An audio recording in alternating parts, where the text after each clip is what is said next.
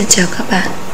Cô trò chúng ta sẽ cùng đi vào Tiếp tục một tiết tập làm văn lớp 4 tuần 22 nhé. Giờ trước các con đã được tìm hiểu Về cách miêu tả lá, thân và gốc cây rồi phải không nào? Vậy để tả được hoa và quả của một cây Chúng ta cần chú ý những gì Và cách miêu tả như thế nào? Thì cô trò chúng ta cùng đi vào bài học ngày hôm nay nhé.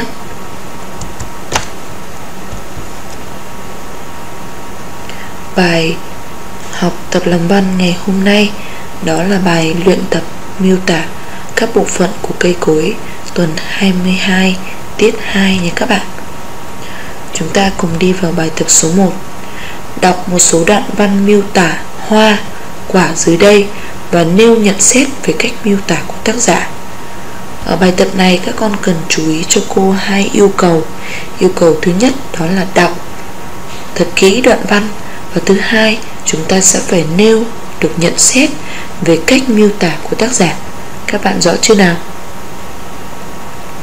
Và bây giờ, chúng ta sẽ đi vào đoạn văn tả hoa của nhà văn Vũ Bàng. Đó là bài Hoa sầu đâu. Trước khi vào bài đọc thì cô sẽ giới thiệu cho chúng ta một số thông tin về hoa sầu đâu nhé.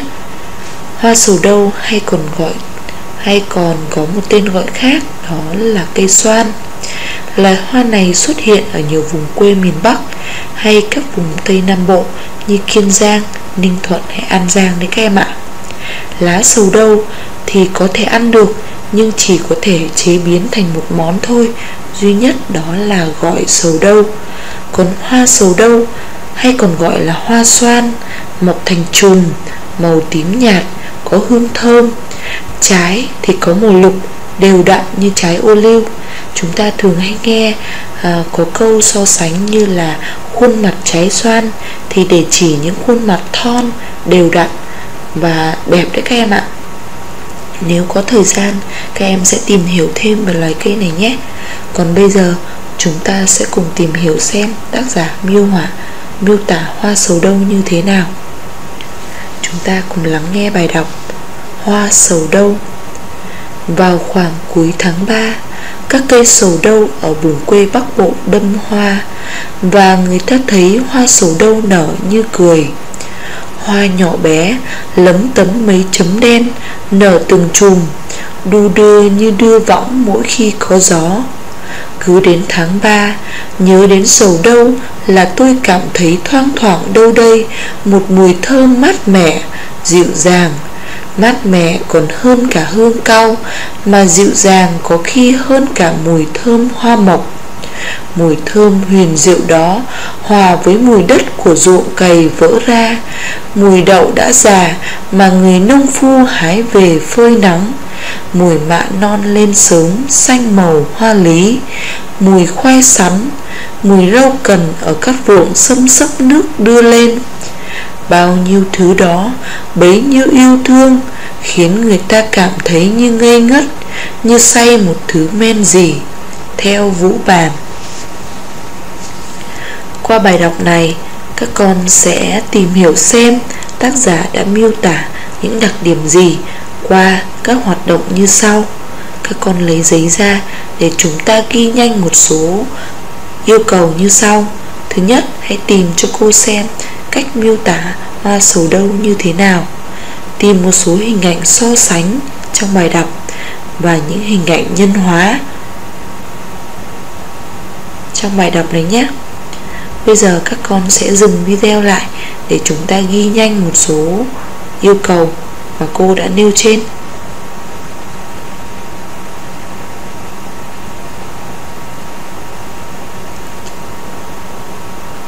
Và sau đây là đáp án của cô.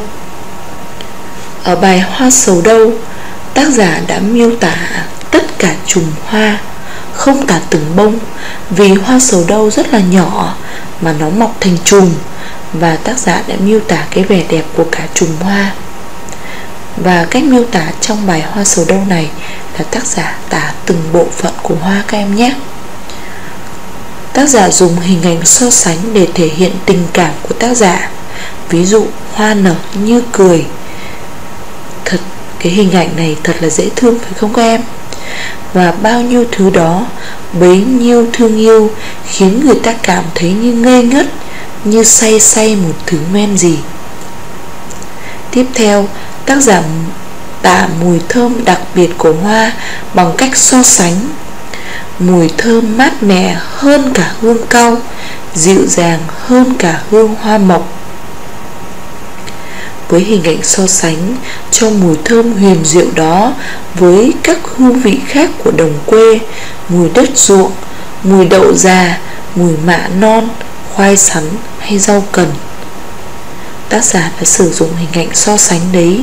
Mặc dù nếu các con chưa được hình dung được ra hoa sầu đâu như thế nào, nhưng với những hình ảnh so sánh, chúng ta có thể tưởng tượng ra với những cái hình ảnh mà tác giả sử dụng, thấy như gần gũi hơn, thân thuộc hơn với chúng ta, phải không nào? Và với bài hoa sầu đâu, tác giả không sử dụng hình ảnh nhân hóa các em ạ. Đó là những cách miêu tả của tác giả về bài hoa sầu đâu. Tiếp theo, chúng ta cùng sang ví dụ thứ hai về tả quả. Đó là tả quả cà chua. Với hình ảnh quả cà chua này, nó gần gũi hơn và thân thuộc hơn đối với các em, phải không nào? Ở một số nhà các bạn, cô thấy chúng ta còn trồng cây cà chua nữa, đúng không nào? Chúng ta cùng quan sát một số hình ảnh về quả cà chua. Và bây giờ chúng ta đi vào bài đọc. Quả cà chua Đêm huyền diệu đã rủ hoa cà chua lặn theo vòng thời gian chuyển vần. Hoa biến đi để cây tạo ra những quả non chung màu với cây với lá. Cà chua ra quả sum xuê, chi chít, quả lớn, quả bé vui mắt như đàn gà mẹ đông con. Quả một, quả trùng, quả sinh đôi, quả trùng ba, trùng bốn Quả ở thân cây, quả leo nghịch ngợm lên ngọn làm vẻ cả những cành to nhất. Nắng đến tạo vị thơm mát dần trong quả. Mỗi quả cà chua chín là một mặt trời nhỏ hiền dịu cà chua thắp đèn lồng trong lùm cây nhỏ bé, gọi người đến hái. Màu đỏ là màu nhận ra sớm nhất. Những quả cà chua đầu mùa gieo sự náo nức cho mọi người. Theo ngô văn phú. Ở bài đọc này, các con cũng sẽ tìm hiểu những đặc điểm mà tác giả đã miêu tả trong bài quả cà chua làm gì, theo những yêu cầu, giống như yêu cầu ở bài tạ hoa vừa nãy. Thứ nhất, các con sẽ tìm hiểu cách tả của nhà văn là gì? Tìm những cô, những hình ảnh so sánh và những hình ảnh nhân hóa. Chúng ta hãy dừng clip lại và ghi nhanh những yêu cầu ra ngoài giấy nha các con. Và sau đây là kết quả.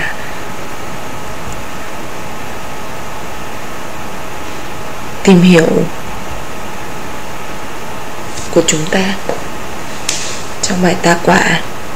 Với bài quả cà chua, tác giả đã miêu tả quả cà chua từ khi hoa rụng đến khi kết quả và từ khi quả còn xanh non đến khi quả đã chín mọng. Tức là ở cách tả này, khác với cách tả ở bài hoa sầu đâu, tác giả đã tả từng thời kỳ phát triển của quả cà chua đấy các em ạ. Thứ hai về hình ảnh so sánh quả cà chua khi ra quả mọc sum xuê chi chít với những hình ảnh so sánh như là quả lớn, quả bé vui mắt như đàn gà mẹ đông con. Mỗi quả cà chua chín là một mặt trời nhỏ hiền dịu. Ở đây tác giả đã quan sát rất là tinh tế và chi tiết. Những hình ảnh so sánh hiện lên ở đây thật là thích thú, phải không các em? Với bài đọc này, tác giả còn tìm thêm một số hình ảnh nhân hóa rất là hay về quả cà chua, như quả leo nghỉnh ngợm lên ngọn, hay cà chua thắp đèn lồng trong lùm cây nhỏ bé gọi người đến hái. Với những hình ảnh so sánh, những hình ảnh nhân hóa này khiến chúng ta hình dung về cả quả cà chua này thật là đẹp, thật là vui mắt và thật là đặc biệt, phải không các em? Vậy qua hai ví dụ này các con hãy ghi nhớ cho cô về cách tả hoa hay tả quả như sau. Ta có thể tả từng bộ phận theo hai cách. Thứ nhất là tả từng bộ phận của hoa hoặc của quả. Tả từng bộ phận là như thế nào? Ví dụ như hoa thì hoa là một bộ phận của cây đúng không? Nhưng với bộ phận hoa này chúng ta có những bộ phận nhỏ. Ví dụ như khi tả hoa các con có thể tả à, đài hoa cánh hoa này màu sắc của hoa này, nhị hoa này, hương thơm của hoa, tức là những bộ phận đặc biệt của hoa. Hay tả, cách thứ hai là các con tả từng thời kỳ phát triển của bộ phận. Thì giống như bài quả cà chua, thì tả từng thời kỳ phát triển của bộ phận. Nếu các con muốn tả hoa, thì chúng ta tả theo từng thời kỳ phát triển, như là khi hoa đang um, bắt đầu lên nụ hoa này. Khi hoa nụ hoa này như nào? Khi nụ hoa nở ra những búp hoa rồi khi hoa nở bung ra những cánh hoa phát triển như thế nào? Các con rõ chưa nào? Tiếp theo nữa các con cần ghi nhớ là khi diễn tả chúng ta hãy tả bằng cách là dùng những từ ngữ gợi hình này gợi âm thanh này rồi những sử dụng những biện pháp so sánh nhân hóa sẽ khiến đoạn văn của chúng ta hay hơn. Và khi tả chúng ta kết hợp sử dụng những cái cảm xúc của chúng ta bằng nhiều giác can, giác quan thì đoạn văn của chúng ta sẽ hay hơn nhé. Vậy khi áp dụng xong cái phần nhận xét rồi, Chúng ta sẽ cùng chuyển sang thực hành qua bài tập số 2 Yêu cầu của bài tập số 2 như sau. Viết một đoạn văn tả, một loài hoa hoặc một thứ quả mà em yêu thích. Thì cô có gợi ý như sau. Thứ nhất, các con sẽ chọn là mình thích một loài hoa hay một thứ quả nào. Sau đó, các con sẽ tả theo trình tự nào. Chúng ta có thể chọn tả từng bộ phận hoặc tả từng thời kỳ phát triển của bộ phận đó. Rồi sau khi chọn xong rồi, các con sẽ xem được loài hoa hay quả đó có điểm gì nổi bật để chúng ta miêu tả. Và cuối cùng là loài hoa hay quả đó phát triển như thế nào. Các con đã rõ yêu cầu chưa? Cô chúc các bạn sẽ hoàn thành bài học này thật tốt, bài thực hành này thật tốt qua phiếu bài tập và cô sẽ gửi sau cho các em nhé. Và các con có sách thì chúng ta sẽ tìm hiểu, đọc thêm, những bài đọc thêm ở phía trang 51 đó là tả hoa, bài đọc thêm đó là bài hoa mai vàng. Thì cô sẽ đọc cho các bạn cùng nghe. Hoa mai vàng hoa mai cũng có 5 cánh như hoa đào, nhưng cánh hoa mai to hơn cánh hoa đào một chút. Những nụ mai không phô hồng mà người xanh màu ngọc bích. Sắp nở, nụ mai mới phô vàng. Khi nở, cánh hoa mai xòe ra mịn màng như lụa. Những cánh hoa ánh lên một sắc vàng nuốt, vàng muốt, mượt mà. Một mùi hương thơm nựng như nếp hương phảng phất bay ra. Mùa xuân và phong tục Việt Nam. Đấy là bài tả hoa mà các con có thể tìm đọc thêm cũng như chúng ta sẽ vận dụng để, để tả thêm trong bài trong đoạn văn của mình nhé. Và thứ hai các con có thể tìm đọc thêm bài trái vải tiến vua. Trái vải tiến vua chỉ nhỉnh hơn trái chén hạt mít nhỉnh hơn cái chén hạt mít để dùng pha trà tàu một chút.